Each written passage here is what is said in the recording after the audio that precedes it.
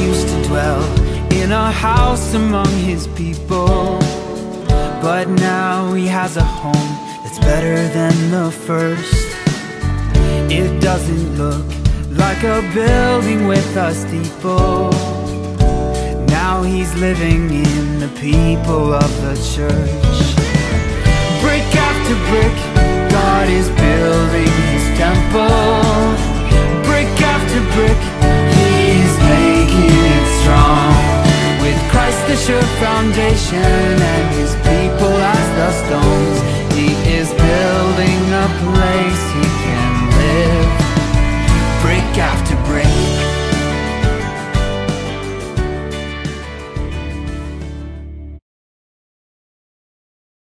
Well, good morning, church. We are thankful to be in the house of prayer once again. I want to share a thought with you this morning. It's a familiar story, and we're going to the book of Genesis, the third chapter. I'm reading from the New International Version. And these words are recorded. Now the serpent was more crafty than any of the wild animals the Lord God had made. He said to the woman, Did God really say, You must not eat from any tree in the garden? The woman said to the serpent, We may eat fruit from the trees in the garden. But God did say, You must not eat fruit from the tree that is in the middle of the garden, and you must not touch it or you will die. You will not certainly die, the serpent said to the woman. For God knows that when you eat from it, your eyes will be opened, and you will be like God, knowing good and evil. When the woman saw that the fruit of the tree was good for food and pleasing to the eye, and also desirable for gaining wisdom, she took some and ate it. She also gave some to her husband who was with her, and he ate it. Now the serpent was more crafty than any of the wild animals the Lord God had made. He said to the woman, Did God really say, You must not eat from any tree in the garden? I want to speak this morning from the subject avoiding snake bites. Avoiding snake bites. We're all familiar with the story of Adam and Eve in the garden. And many Bible critics struggle with the story because it sounds something like a fairy tale, some sort of myth, folklore. It really can't be taken literal. It's a primitive concept to try to explain the condition of man, an oversimplification of the complexities of man's sinful condition. And we sometimes even regard it with the touch of embarrassment. We try to flush over it because there's this mystical tree that has some sort of mystery apple, even though the Bible never calls it an apple, has some kind of magical type of fruit. And there's a talking snake. And so we struggle well, what do we do with this? How do we regard this story? Is it like an old myth? A simple explanation of how we got here? And so critics criticize it, and Christians rush over it and try not to spend too much time trying to explain what might be happening here. So I would like this morning to somehow help unpack some of the concepts in this passage to see what we can gather from it. I have a lot of information and I will try to be as brief as I, as I can. Uh, I fear that I may go over a little bit. Don't look at me like that. but I believe that we, there's some powerful insights that we can glean from this story. So let's start. Now there is a serpent. And right out of the gate, we come to a change of scenery in the Genesis story. Chapter 1 and 2, God creates everything and he gives a conclusion to all of his work. He says it's good and very good.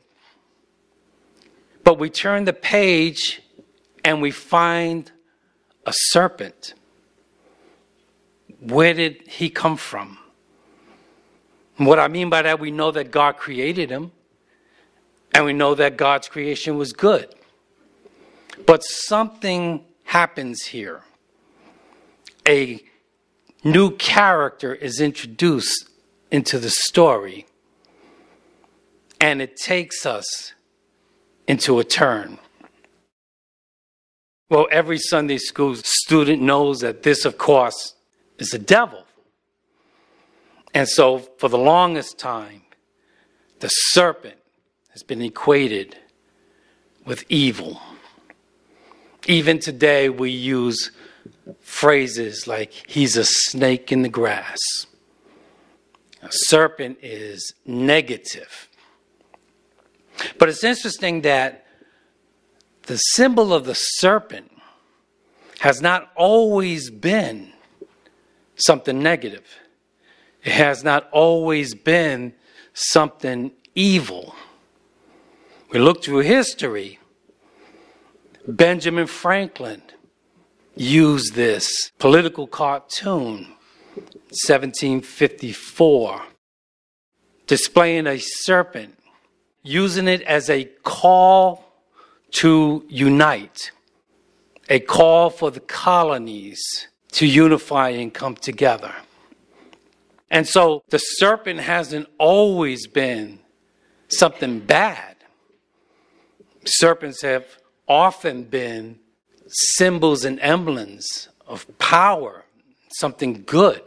Of course, when we look in Egypt, the serpent is used on the crown of Pharaoh, displaying the Pharaoh's superiority, displaying the power, the divinity of the Pharaoh which gives a whole new insight to the story of Moses, where his serpent devours the serpents used by Pharaoh.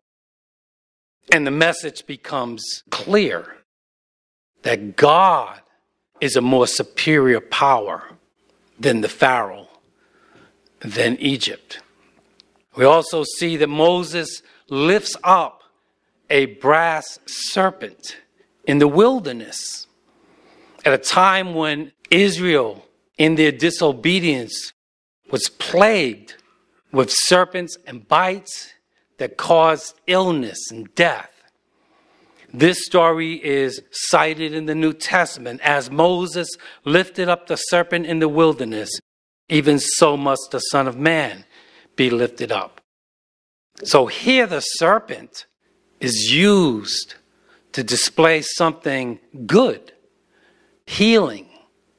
This story of the serpent in the wilderness was adopted in our culture today. We see a serpent on a staff in the blue cross and blue shield, symbolizing healing, being made whole, healthiness. Even Christians on one point was exalted to be like serpents. Jesus said, Behold, I send you out as sheep in the midst of wolves. Therefore, be wise as serpents and harmless as a dove. Here, Jesus is telling you, be like a serpent when it comes to wisdom. Serpents were often equated with wisdom.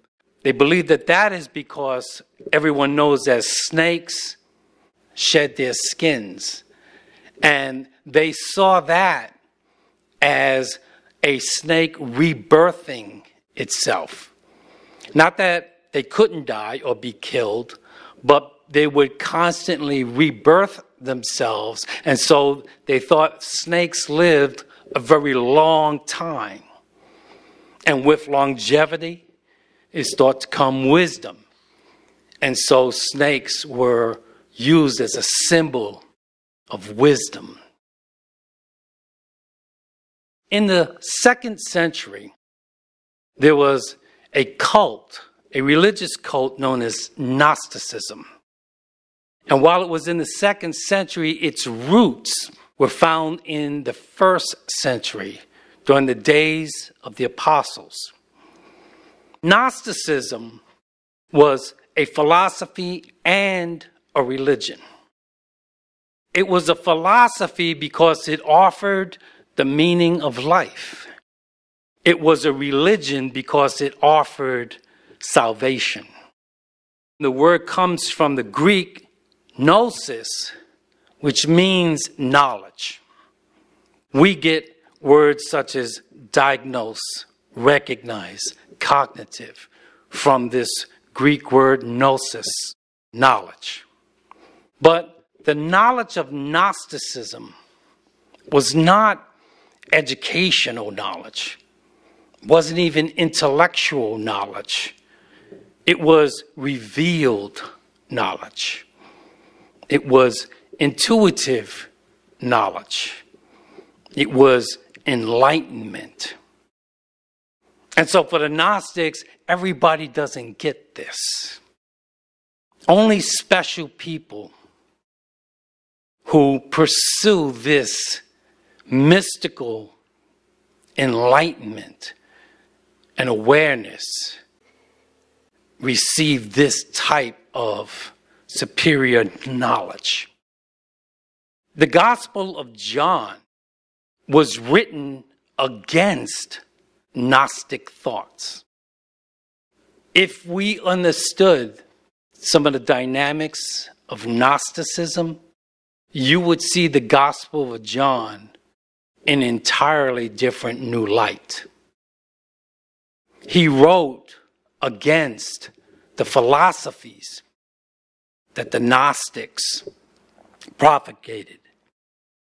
We see it right out the gate. In the beginning was the Word, and the Word was with God, and the Word was God. A very familiar verse. In the Greek, we understand that this word used is logos, which does translate to word. But John is not speaking about the Bible because logos not only translates to word, but logos translates to logic. And so, what he's saying here is that there was divine logic that started everything.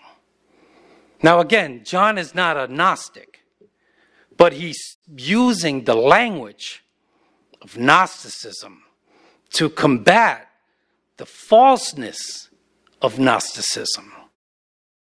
And so it's in the Gospel of John and only in the Gospel of John that we find this story about a snake. As Moses lifted up the serpent in the wilderness, even so must the Son of Man be lifted up. Now, I bring up the thing about Gnosticism and it's a very fascinating study. Maybe one day we'll do a seminar on Gnosticism. It's very fascinating. But I bring it up because the Gnostics had their own and many symbols and emblems that they used. And many of them involved snakes, serpents, often intertwined. This was a Gnostic creature known as the Abraxas. You can see that this demigod has the head of a rooster and the legs of serpents. Gnostics use snakes, serpents, throughout their doctrines. The idea of a serpent biting its tail would symbolize eternity, eternal truth. So let's go back to our text and we find that there is a serpent. We all know who this is. This is the devil. However, it's interesting to note that nowhere in this chapter is the devil named as being equated with the serpent. In fact, nowhere in Genesis does it say or imply that the serpent is the devil. He's not in this chapter. What does that mean? Is the serpent the devil? Should he be equated with Satan? Well, we do know that the serpent is Satan, but we don't get it from Genesis. We get it from other portions of scriptures, such as Ezekiel 28, where the prophet speaks to a certain king, but it becomes clear he's not speaking to a human king, but rather the spirit of that king. Ezekiel 28, the word of the Lord came to me, Son of man, take up a lamentation concerning the king of Tyre, and say to him, This is what the sovereign Lord says You were the seal of perfection, full of wisdom, and perfect in beauty. You were in Eden, the garden of God. Every precious stone adorned you. So now we know that this creature was the one in the garden. You were anointed as a guardian cherub. That's an angel. For so I ordained you. You were on the holy mount of God. You walked among the fiery stones. You were blameless in your ways from the day you were created till wickedness was found in you. So now we know that it was, in fact, Lucifer, Satan, who was there in that garden. But we didn't get it from Genesis. In the book of Revelation, the 12th chapter, verse 9, the great dragon was hurled down, that ancient serpent called the devil, or Satan, who leads the whole world astray.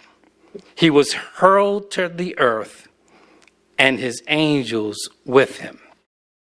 So we do know that it was Satan in the garden, but we don't get it from Genesis. There's a story of Jesus and his apostles at one point. We find it in the Gospel of Luke. This is just before Jesus goes to be crucified in Jerusalem. And read what happens here. Now it came to pass when the time had come for him, Jesus, to be received up, that's crucified, that he steadfastly set his face to go to Jerusalem. And he sent messengers before his face and as they went, they entered a village of the Samaritans to prepare for him. But they did not receive him because his face was set for the journey to Jerusalem. And when his disciples, James and John, the apostle of love, James and John saw this, they said, Lord, do you want us to command fire to come down from heaven and consume them, just as Elijah did? You hear what he's saying? You want us to kill them? Just give the word. We'll take them out. Just like Elijah, they're even using some Bible. But he turned and rebuked them and said, You do not know what manner of spirit you are of. For the Son of Man did not come to destroy men's lives, but to save them. And they went to another village. You do not know what manner of spirit you are of. The lesson in Genesis, the apparent absence of Satan, it is foolish and dangerous to assume that the devil is always recognizable and easy to see. We don't always recognize Satan. We may like to think that we'll be able to spot him the minute he comes into the room, but that would be a mistake. We know that, as Revelation tells us, the serpent is in fact the devil. But it also tells us not only who he is, but what he's about, who deceives the whole world. So, this is Satan's purpose to deceive you, to pull you away from God. Peter would say, Be sober, be vigilant, because your adversary, the devil, walks about like a roaring lion, seeking whom he may devour. So we know who the serpent is and we know why he's there. Now, as we go on in the story, the next thing we may note is there's the woman. And many have taken this passage as a lesson and an exhortation about women. I've often heard that this here explains why women are supposed to be obedient and subject to their husbands.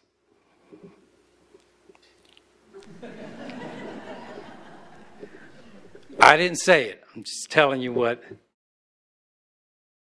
I said that's where this this is what this is about. This is why women can't be pastors. And so they go to this to put forth that idea that women are in trouble because of this garden scene. Now, we can discuss and debate those points of doctrines, but we should not think that that's what this story is about. Because Eve here represents all of us. Eve represents that part of you that's vulnerable to the voice of the devil. Eve is that part of all of us that can easily be persuaded away from God. And so Paul warns, therefore let him who thinks he stands take heed lest he fall. So we have the woman.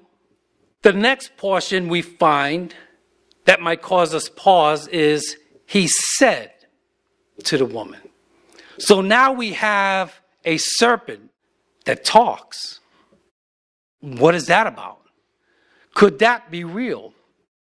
Well, you would notice that Eve is not startled that the serpent is talking. This is not astounding to Eve. It is believed that before the fall of man, all the animals spoke. There's an ancient book called the Book of Jubilees. It's not scripture, but it records some of the history of the scriptures. And the Book of Jubilees speaks about the fall of man and the garden with Adam and Eve. And says that at one time all the animals did speak.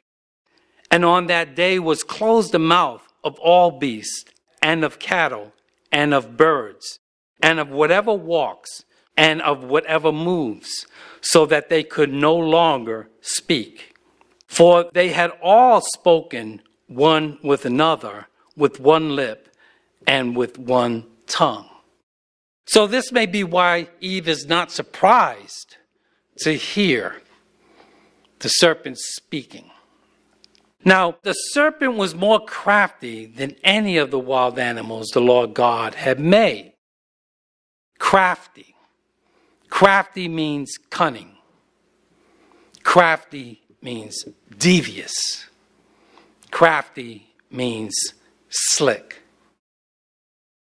Now, the book of Job, in the debate with Job and his friends, as they accuse Job of messing up, they cry out to him, But you are doing away with the fear of God and hindering meditation before God. Your iniquity teaches your mouth, and you choose the tongue of the crafty. Your own words condemn you, and not I. Your own lips testify against you. Job, you're using the tongue of the crafty. Craftiness can be conveyed through language through conversation.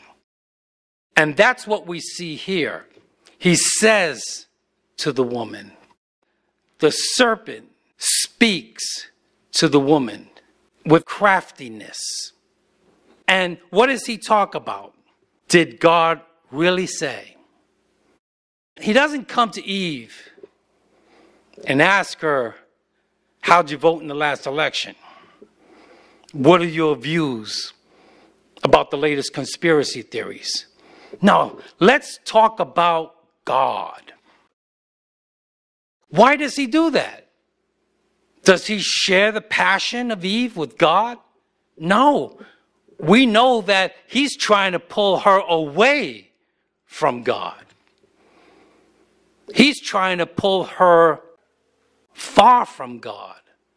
But he's using the conversation of God. Let's talk about God. Let's lay some common ground, a shared understanding. And he raises the question Did God really say?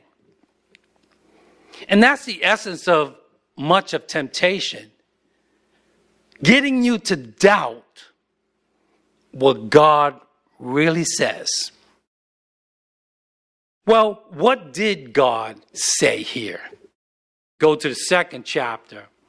And the Lord God commanded the man, You are free to eat from any tree in the garden, but you must not eat from the tree of the knowledge of good and evil, for when you eat from it, you will certainly die. So here we have the commandment, and what is raised? He raises doubt. Is it true that you're not allowed to eat? Actually, God says you're free to eat. But Satan comes in with the twist, going through the back door, raising the doubt. He really doesn't want you to eat this stuff, raising the negative. You're not allowed to do this, are you? The Bible talks about the fallacy of adding or taking away from the Word of God. We see it in Revelation. In Revelation, he's talking about the book of Revelation. But the principle is clear in regards to all scripture. Moses says, See that you do all I command you. Do not add to it or take away from it. What we see in the garden is both mistakes made adding to the word and taking away from the word. The woman said to the serpent, We may eat fruit from the trees in the garden. That's true. He said that. But God did say, You must not eat fruit from the tree that is in the middle of the garden, and you must not touch it, or you will die. Now, God didn't say you couldn't touch it, He said you can't eat it. Well, what's the big deal about that? Well, what would Eve have to do before she ate it? She would have to touch it. If she touches it and sees not dying, maybe, just maybe, I can eat it and not die. So she adds to the Word of God. Satan comes and he takes away from the Word of God. God says you will certainly die. He says you will not certainly die. You're not really going to die. That's not what he meant. And then he comes with the accusation. For God knows that when you eat from it, your eyes will be open and you will be like God, knowing good and evil. What is he doing here? He's pointing the finger. He's accusing God.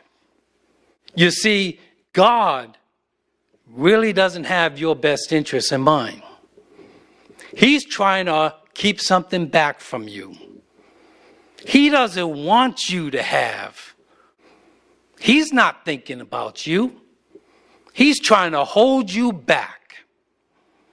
And that's the accusation. What comes next is rationalization. We're going to justify. Is there a way for me to do this and be okay? She saw that it was good for food. Well, I got to eat. So this can't be that bad. The second thing is pleasing to the eye. It's good to look at. It's not too bad. It's not all that bad. And that it's desirable for gaining wisdom. This is good for me. I could use this. This can make me better. And so she bargains with herself and finds excuses and reasons to disobey God. James says, But each one is tempted when he is drawn away from his own desires and entice. Then, when desire has conceived, it gives birth to sin. And sin, when it is full grown, brings forth death. Proverbs tells us there is a way that seems right to a man, but its end is the way of death. Now, there's one more interesting point to this Genesis story. If we look at Genesis 2, we find that God is identified all through that chapter as the Lord God. Over 10 times throughout the entire chapter, He is the Lord God. Even in the commandment, the commandment that's in question, and the Lord God commanded the man, You are free to eat from any tree in the garden. When we get to chapter 3, now the serpent was more crafty than any of the wild animals the Lord God had made. He, the serpent, said to the woman, Did God really say, You must not eat from any tree in the garden? The woman said to the serpent, We may eat fruit from the trees in the garden, but God did say, you must not eat the fruit from the tree that is in the middle of the garden. They refer to God as God, not the Lord God. They don't see him as the Lord God. He is simply God to them. Well, what does that mean? Because God is what's used to describe the supreme being the creator. We acknowledge that. He created us.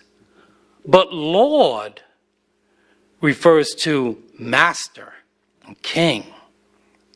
So they can't deny that he's God, but they're not calling him Lord. Jesus makes it clear why do you call me Lord, Lord, and do not do what I say? Eve and the devil don't acknowledge God as Lord because they're not listening to him anymore. They're not obeying him anymore. It's just like today. There are people that believe in God. Yes, I believe God is real. I believe he created us. I even believe he loves us. But the real question is he your Lord? Would you say yes to his will? Would you say yes to the things that don't set well with you? So here we see the story of the serpent. But it's in this story that we also find the first messianic promise that Jesus will come and fix this. I will put enmity between you, the serpent, and the woman, and between your offspring and hers. And he will crush your head, and you will strike his heel. Now we go back to that story in the wilderness, that somewhat perplexing verse. As Moses lifted up the serpent in the wilderness, even so must the Son of Man be lifted up. Here, Jesus is identified with a serpent, with something that is regarded as evil, as sinful. Why would Jesus use this to point to him? It's because we have to understand what happened on the cross. God made him, Jesus, who had no sin, to be sin for us, so that in him we might become the righteousness of God.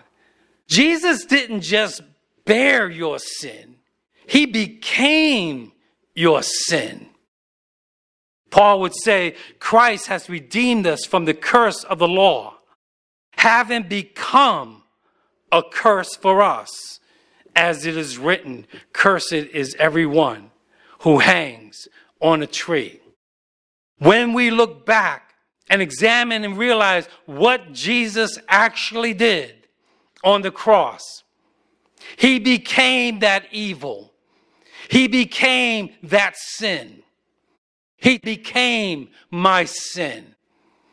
And he paid that price. But when he got up from that grave and he proclaimed, I am he that liveth and was dead, and behold, I'm alive forevermore. Amen. And have the keys to hell and death. He has defeated the serpent. And because he has defeated Satan and defeated the serpent and defeated all evil, he then turns around and says, Behold, I give you authority to trample on serpents and scorpions and over all the power of evil, and nothing shall by any means hurt you. O death, where is thy sting? O grave, where is your victory? What Jesus did on the cross was he transferred that power after taking on the serpent, becoming the serpent, becoming the evil. He now passes it on to us. That's why we can say, greater is he that is in me than he that is in the world. It's because he became the serpent and got victory over that. He has given me power to resist temptation. He has given me power to overcome the evil one. And all the joy that came to me when I knew that I was free, when he broke my chains and he set me free and he put a song in my heart. Amazing grace. How sweet the sound that saved a wretch like me. He brought me out and he turned me around. Thank God I have power over Satan.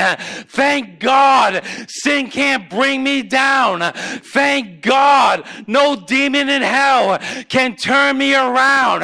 I once was lost, but now I'm found. I was blind, but now I see. He set me free. He set me free. He set me free. Break after brick, God is building his temple. Brick after brick, he is making it strong. With Christ the sure foundation and his people as the stones, he is building a place.